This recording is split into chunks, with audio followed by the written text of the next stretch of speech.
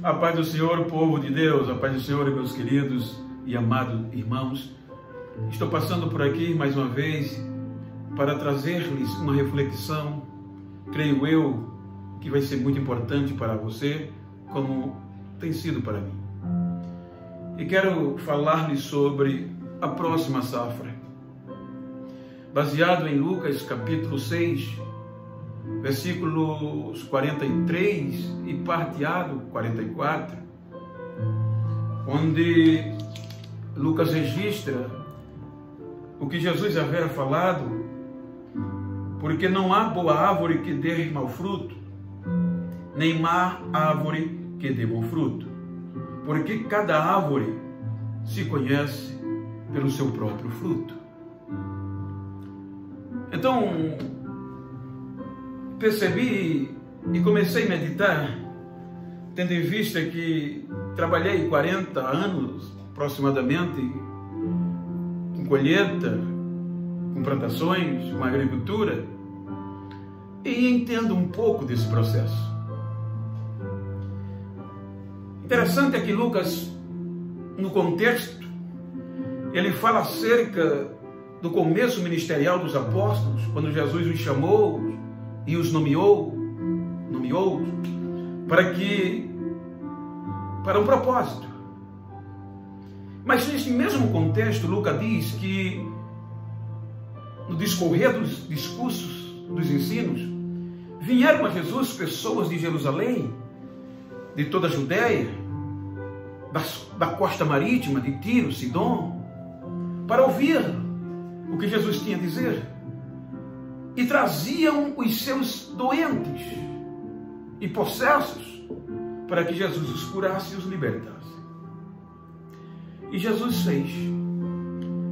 Ensinou-os. E o interessante é que Jesus trata de alguns assuntos pertinentes, sobretudo até hoje para o nosso tempo, porque ele trata sobre amar os nossos inimigos. Ele trata de não julgarmos o próximo e trata da árvore boa e a árvore má. Então Jesus diz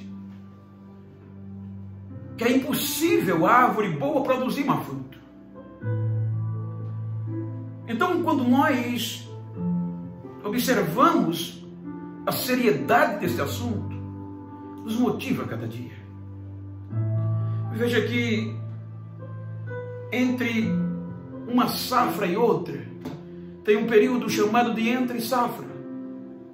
E é justamente nesse período que a árvore produz.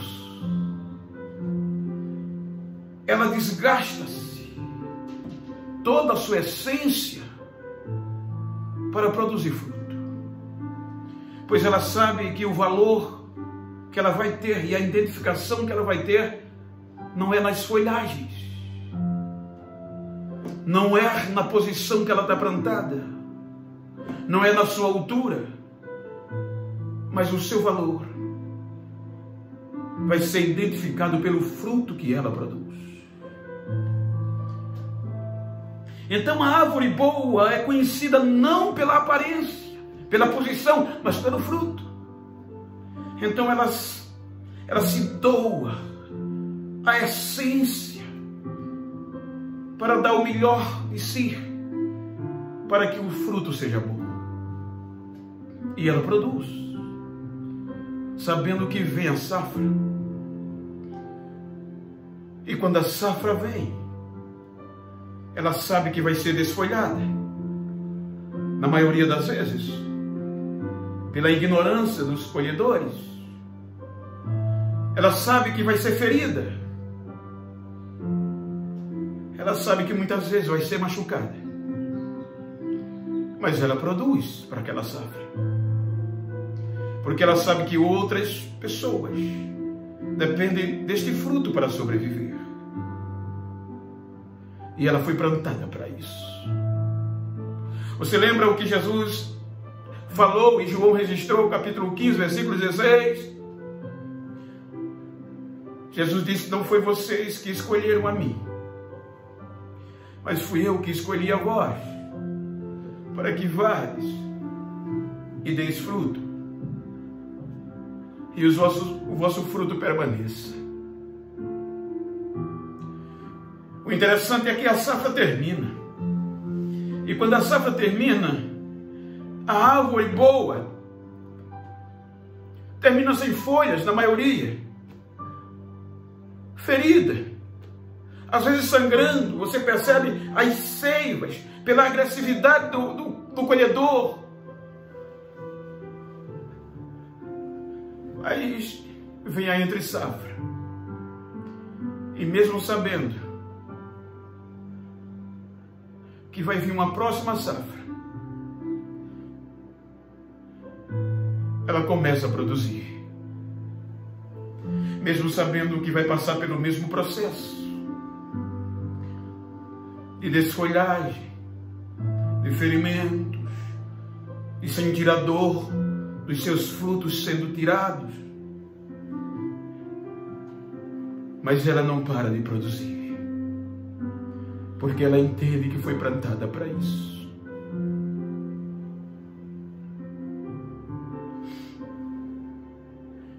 Então eu quero passar por aqui, estou passando por aqui, melhor dizendo. Para que você pense na próxima safra. Não deixe de produzir os bons frutos. Porque você sabe que vai vir sofrimento. Não deixe de produzir por conta das pedradas, do desfolhar, das feridas as calúnias. Não deixe de produzir. A próxima safra vem e tem pessoas que dependem do seu fruto para sobreviver.